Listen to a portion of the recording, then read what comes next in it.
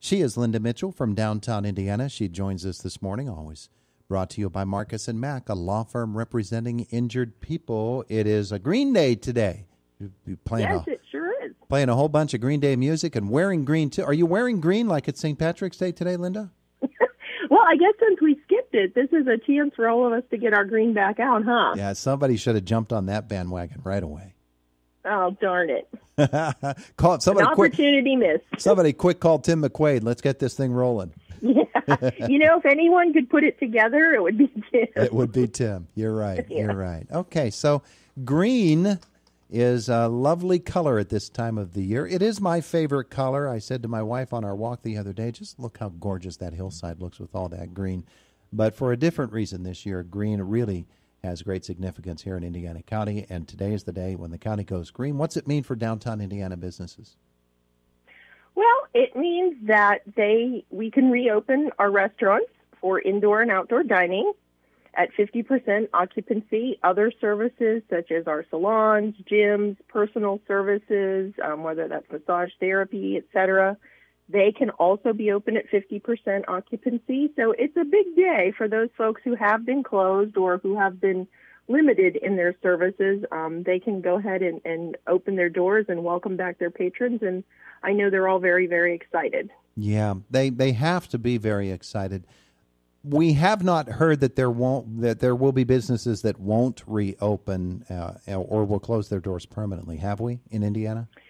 No, so far I have not heard that. Um, everybody's on their own timetable. There may be some folks who don't open today, just as we had a store or two who, you know, didn't open the first day of yellow. But mm-hmm. um, I think for the most part, everyone, a lot of people, the majority will reopen today, and they're they're very excited to do so. Um, and our stores who are in who were at 50% can now step up to 75% occupancy. Yeah, if you have the plexiglass concession, you're in really good shape right now. have uh, have downtown businesses uh, reached out to you or to others that you know of to say, how can we get our hands on some of this stuff? We want to open, but we can't find it.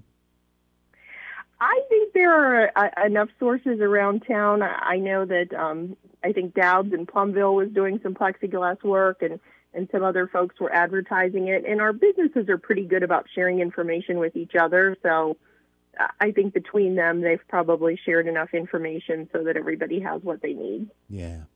Well, but, but, it would have been a good idea for us to go into the plexiglass business yeah, at some point. See, all you needed to do was put the downtown Indiana logo on it. Uh, and, oh, now all these ideas are coming out now. and for today, you could have made them green shaded I'm, yeah. I'm just saying, Linda. I've I've got all kinds of ideas for you. Boy, that idea factory is really fired up today.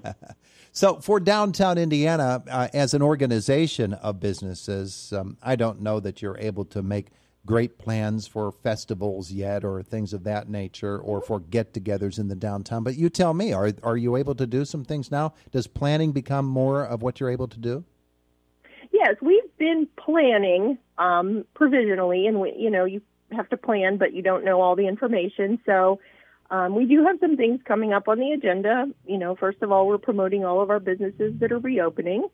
Um, we're also looking at working with the chamber and the borough on a small business week, um, July 19th through the 25th. Mm-hmm. So that would be countywide, but we would plan specific activities for the downtown um, you know, live music, food, some some just sidewalk sales, just getting people out to do some fun things in the downtown.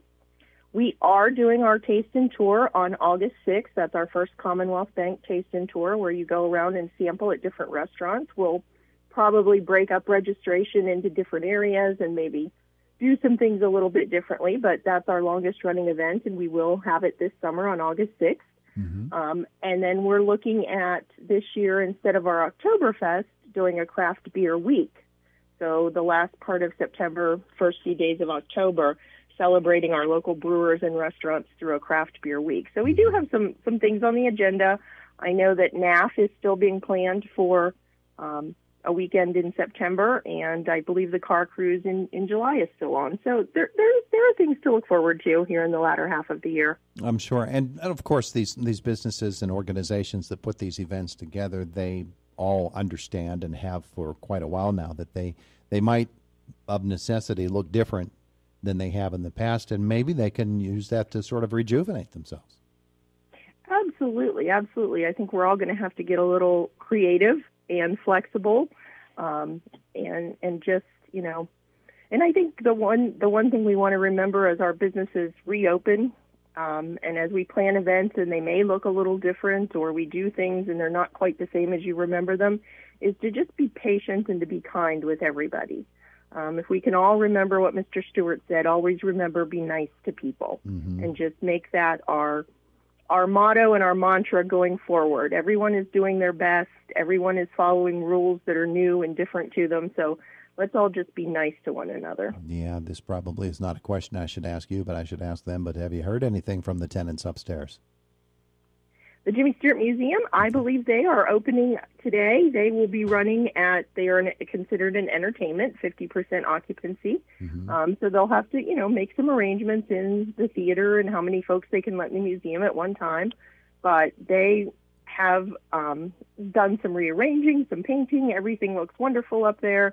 So I, I, highly encourage everyone to get over there and see it as, as they reopen. Yeah, well, that's going to be a really big deal because they did so much to make the place all spiffed up for the 25th this year, and um, now people finally going to get a chance to look at it.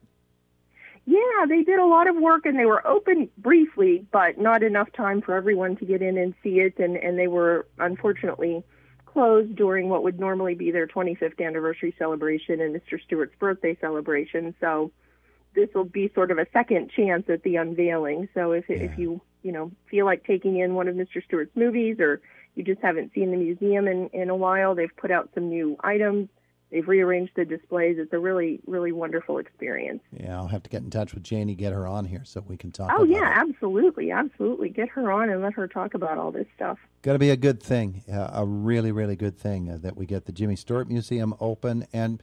Um, as we talked to Denise Liggett from uh, Indiana County Tourist Bureau, I'm sure they're very excited as well. Downtown Indiana has a good relationship with the Tourist Bureau, don't you?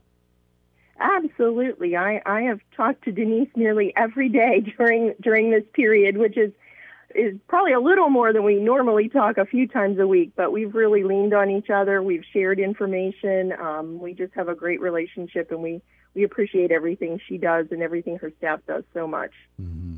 All right. So, moving forward with downtown Indiana in the coming months, so you'll be, of course, looking at the winter uh, and uh, you'll you'll think about the It's a Wonderful Life festival and whether you can hold that or how what it will look like. All of these things. It's a brand new experience uh, for for a lot of us. Uh, and and as I said earlier, you know, it's a chance for people to maybe reinvent themselves a little bit too.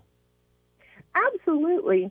We are actually, before we even get to winter, one more thing we're looking at for this summer is um, Michael Foote, who is the borough manager, as many of you know is really spearheading an event or an effort to expand outdoor dining and sort of relax some of those regulations over the summer mm-hmm. to help our local restaurants out because they are limited in their capacities. But if we can give them a little bit more room outside, that will help them get in m- more folks. So he's he's really been leading an effort um, along and working with myself and Mark Hilliard at the chamber to um, allow for an expansion of outdoor dining and relax some of the open container rules.